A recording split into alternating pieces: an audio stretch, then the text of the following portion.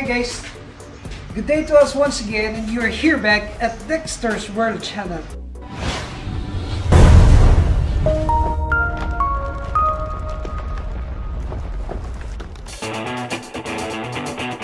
Today's video, we will go to the house of Michael because I received a call from him and he said that he is willing to sell his share of this Japanese koi to us. He needs some money so he's going to sell to us at least 1,000 Japanese koi and I am so happy because it's so timely that we have a vacant pen. You look at this pen This pen is supposedly the place for our breeder kois, but since we already distributed our Japanese koi to some breeders here in our community, so this pen become vacant. And that is why I am going to place 1,000 baby kois in this pen. In the previous videos that we have presented to you guys, we have covered the actual breeding of these kois by means of hand stripping. And I'm so glad that we have actually made a video on it. That's why today we are also going to make an update whether or not those eggs that have been laid 5 days ago are already hatched. And also the Shubunkin breeders will lend to them, I believe that have also laid eggs already and we will have an update whether or not this Shubunkin have babies. So this is the thing that we can expect for this video. Come on, we will go to his place. We will use the motorbike and please be with me guys. Come on.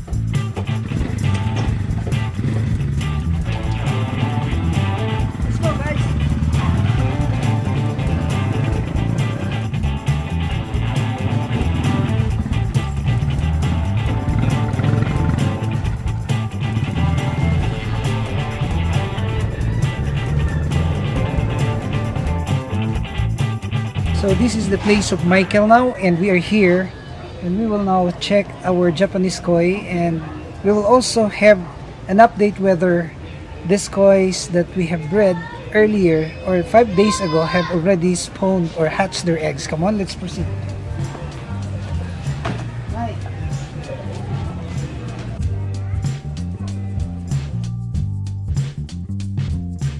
Let's see this Japanese koi that we will place at the pen of our house. They're here. These are plenty of Japanese koi. This will reach around 1,000 pieces. They are having uniform size. And by the way, we will check over there if the eggs of our Japanese koi have already hatched. Come on, let's proceed to this tank over there. You will see now that in this tank we can clearly see thousands of baby kois. They are just three days old and they are being fed with live food which is daphnia. You will see that they are swimming freely now and once these kois or the eggs have hatched then we will observe if they will swim freely. This is the time that we will introduce the first feeding. And we feed none other than BBS or Daphnia. Well, in this case, we are feeding BBS. Come on. Over there, we will see thousands. You will see this one. This is an amazing koi breeding here. You will see, wow, you see that? And this is the cycle of our business. We hatch kois, then we will grow them in a couple of months and then we will display them at the pet store. So this is the cycle. That is why I need to to collaborate with other breeders because I cannot do it by myself. This is a tedious task that has to be done with persons with expertise and with too much care about breeding Japanese koi.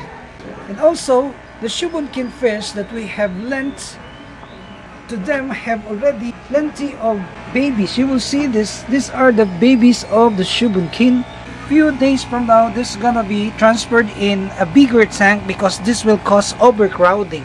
And also this koi, once they will reach up to one week old, some of them will be transferred in a separate or another tank to avoid overcrowding.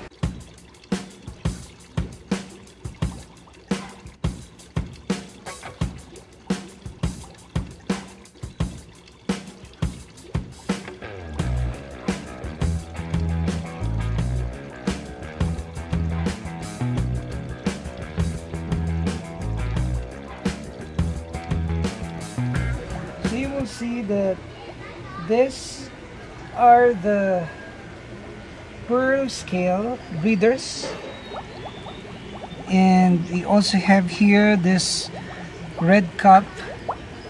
And this calico also is very fat. This is a female calico. See this one?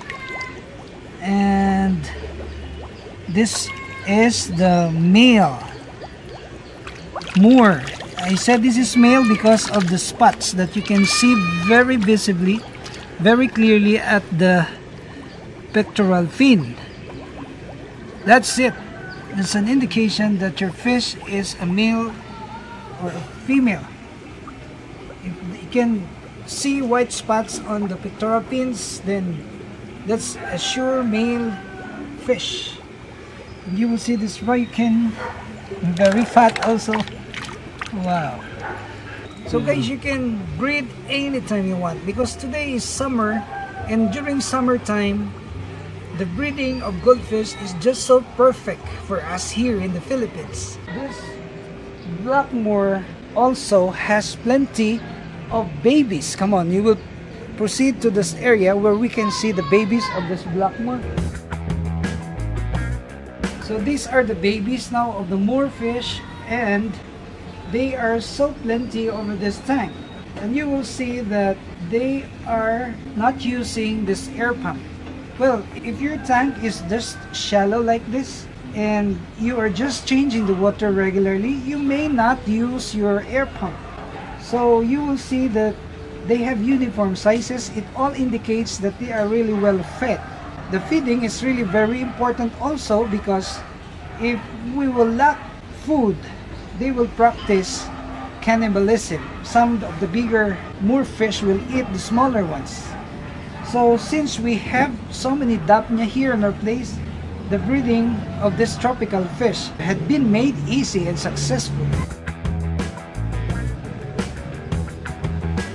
And we will now get the Japanese koi over there. There are 1,000 of them. And we will place that at the house. Come on, let's proceed.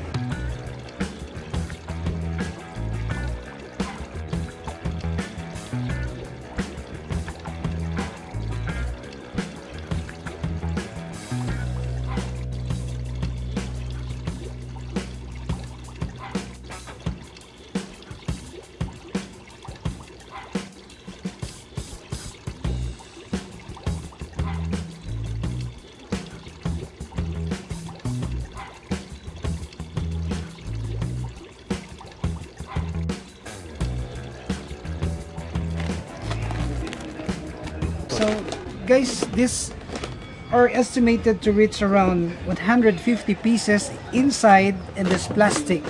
And maybe you will ask, Dexter, you are not using oxygen? Well, we can do these things for a couple of hours, but it will not really last for more than two or three hours because during those times, this koi will really be gasping for breath. But for just two hours, they will survive even without this oxygen. We're just using the the air, the natural air of the environment. And you will see that they are now being placed individually to this plastic cellophane.